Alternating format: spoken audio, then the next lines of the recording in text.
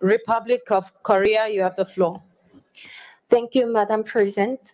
In light of this being the Republic of Korea's first intervention, on behalf of the Republic of Korea's delegation, I would like to express gratitude for the tremendous efforts of the Panamanian government and the Secretary of the Convention in facilitating this significant event.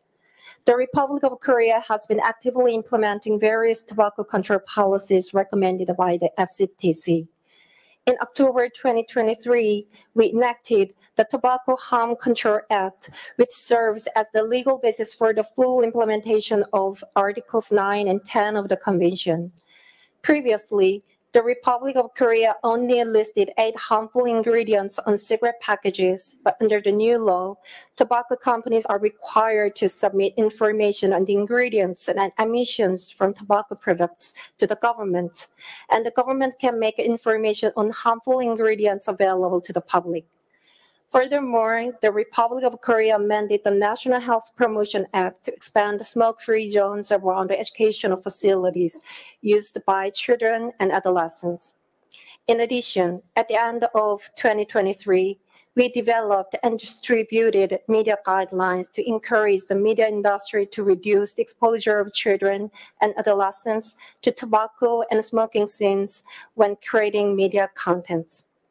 In addition to these new policies, the Republic of Korea continues to uphold the implementation of current tobacco regulations. The Republic of Korea government enforces equivalent tobacco regulatory standards for heated tobacco products and cigarettes. Additionally, e-liquid using tobacco plant as a primary component are taxed at a similar rate as cigarettes.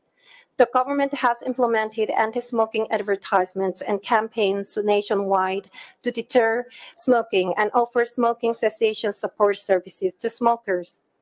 These efforts have resulted in a significant reduction in the adult smoking rate in Korea, dropping from 35.1% in 1998 to 17.7% in 2022, the lowest level on record.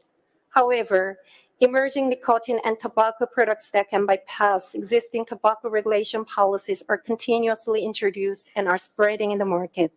The tobacco industry's marketing and proliferation of emerging tobacco products is a global issue that transcends borders. Beyond the efforts of individual countries, we hope that all WHO FCTC parties will collectively address the proliferation of electronic cigarettes and emerging tobacco products. Thank you.